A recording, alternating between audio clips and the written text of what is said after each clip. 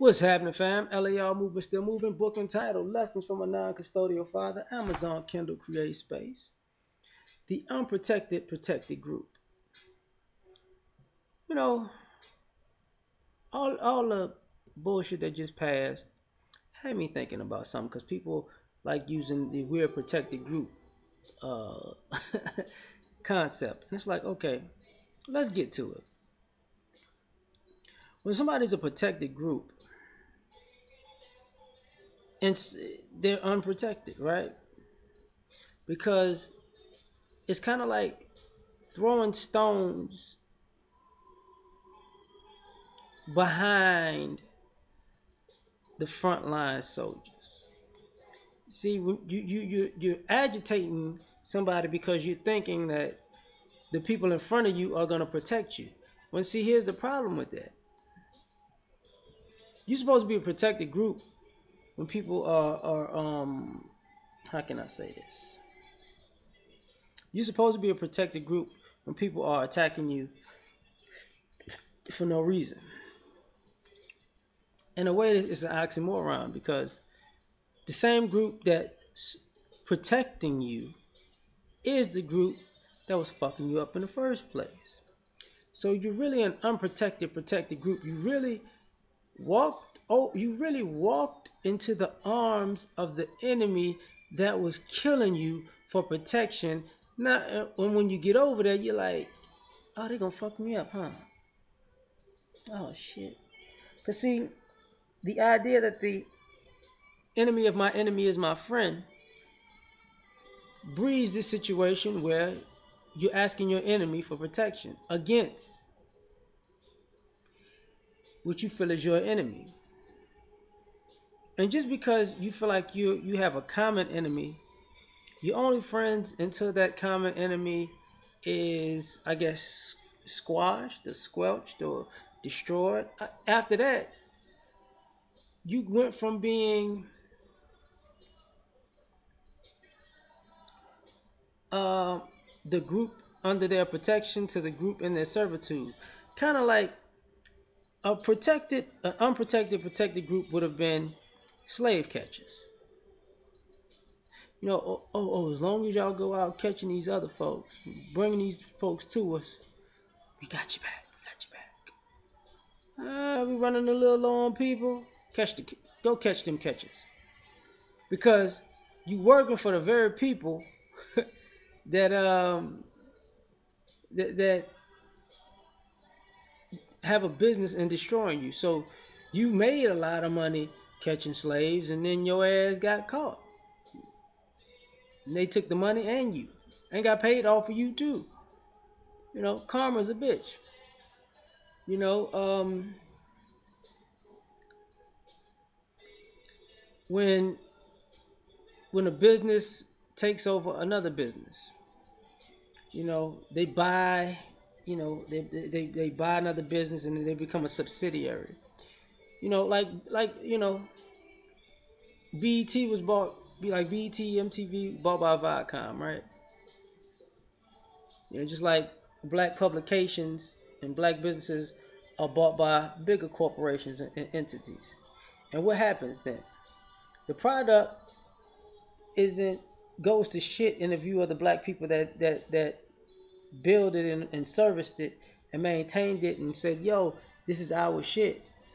Now, when these other people bought it, and you bought it to, you know, because you thought they were gonna, sorry, take you to a on, to a higher place and a higher level, no, they just screwed you. So now, your baby or your business that you built that you probably could pass down to your children, and now you can't, um, because you you're locked out of your own creation. The um the people that you used to hire, that their families depended on you and your creation and, and its income, they're fired for other people to, to take those spots and that income. The group that the, the, the same group that bought your business that was gonna maintain it and protect you, you know, make you look good. Now they're making you look like a complete utter dumbass. You know, same thing. You know, when when when companies go public on stocks, you know, uh, you can't. They might try. They might um, buy up your business to run it into the ground for because they have comp because they may be your competition in some way, shape, or form, and you didn't did not know that. You know what I mean? So, you know, you're unprotected by the protected group. You know, and of course, I'm using these analogies because of these quote unquote shenanigans that have went on, right? Because to be a protected group, you're not supposed to go around fucking with people. So when you go around fucking with people, waiting for your protection to come through, um, your protection is not going to help you because your protection was supposed to protect you from unwarranted issues, not you instigating issues. So, you know, so now you're unprotected, protected group. And then, you know, it's kind of like big brother, little brother. Everybody's scared of big brother. So what little brother does is go out and just kick up dust everywhere. You know who my big brother is? You know who my big brother is. Give me this goddamn candy. You know my big brother beat your ass. And then little brother seems to forget that big brother has to fight all of these battles. And then little brother becomes starts to build a reputation of being a shit starter.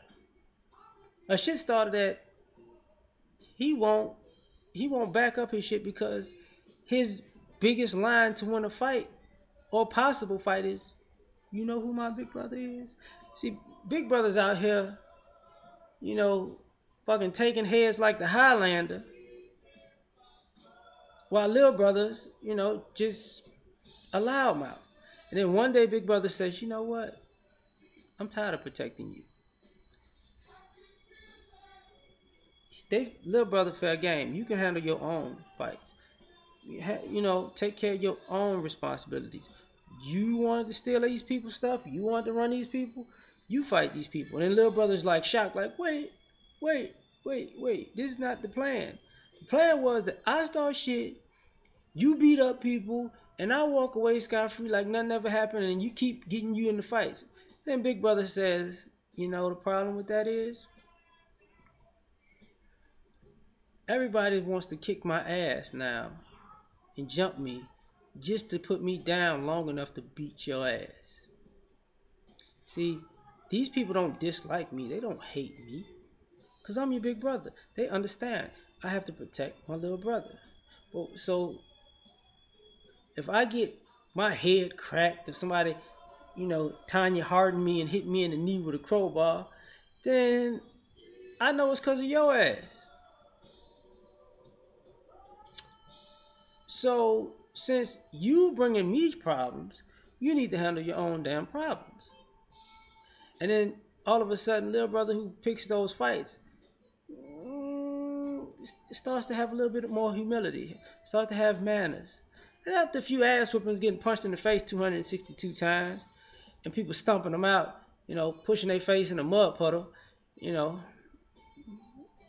you know, about 57 kicks in the nuts, little brother's like, damn, I, I didn't cause a lot of trouble out here. These people don't like me, huh? And after, you know, self-reflection, you're sitting in the hospital like Ricky Bobby, you come to the idea that I'm not that protected because of my own issues. And, you know, at the end of the day, this what keeps happening. Because think about it. Look at America now. Oh, white people were the protected group. Now they feel unprotected. Gay, the the gay community, it was a protected group. Now I feel feel a little uh, uneasy. They don't feel so protected.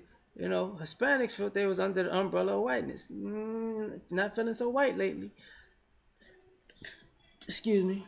Black women felt they was a protected group. Everybody, white people, Asian people, Hispanic people whipping, whipping the shit out of black women, white feminists leaving black women hanging.